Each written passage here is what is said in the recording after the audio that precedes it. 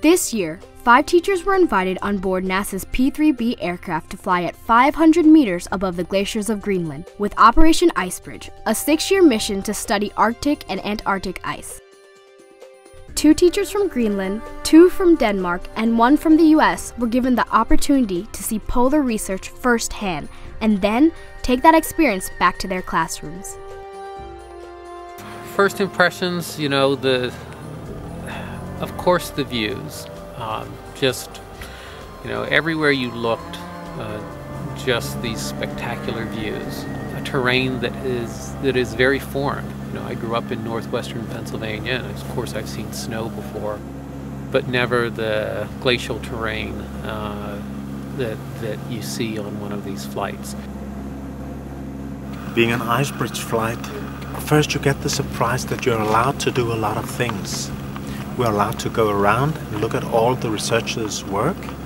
We're allowed to talk to them. We're even allowed to go out in the cockpit as long as we don't bother anyone too much. That's the biggest surprise.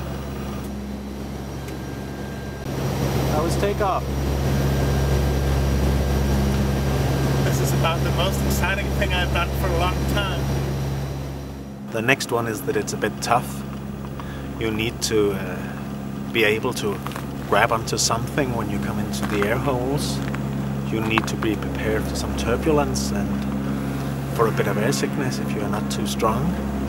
And you have to eat. And you have to drink a lot because eight, nine hours on a flight is a long time. I say it's an incredible experience to see the ice from above and the mountains and flying with these incredible pilots, going very low over the glaciers, going very close to the mountains. So that has been a fantastic experience to see how such professional people can can do their work and talking to the scientists and uh, feel their enthusiasm towards these subjects. I don't know what I really thought would be there. But when you see it, there's actually nothing. It's like a completely white desert. You can see there's nothing. No life, no tree, no animal, nothing. Just flat ice. But then when you get to the edges, it gets uh, much more interesting. You have mountains and you have the crevasses. I think for me the crevasses was the defining moment.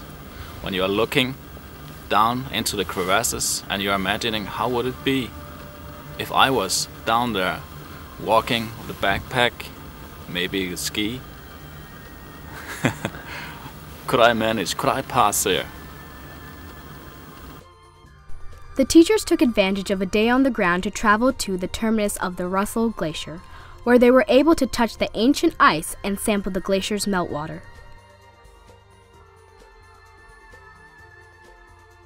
While the teachers stayed back a safe distance from the glacier's calving front, two hikers from a different group provided a sense of scale as they got dangerously close to the wall of ice.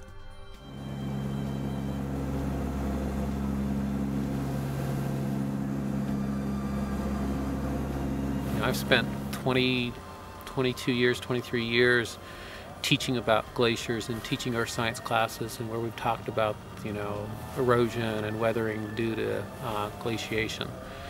But I've never seen it until today until the flight. And I think that makes you a better educator. I think it makes you a better better communicator of, of the science. Peter Gross has already shared his experiences with his students back in Denmark and plans to incorporate scientific concepts from Operation Icebridge into his future physics classes.